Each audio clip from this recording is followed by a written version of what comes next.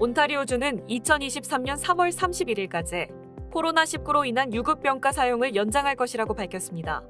이로써 자격을 갖춘 온타리오의 근로자들은 코로나19 테스트를 받거나 백신 접종을 하거나 자가 격리가 필요한 경우 최대 3일 동안 하루 최대 200달러를 받을 수 있습니다.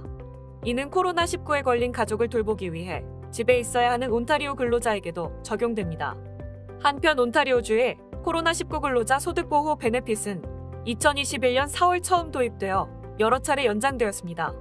몬테 맥노튼 노동부 장관에 따르면 지금까지 50만 명 이상이 코로나19로 인한 유급병가를 신청했다고 밝혔습니다. 한편 온타리오주에서는 7월 10일부터 16일 사이 코로나19 확진자 수가 28% 증가했습니다.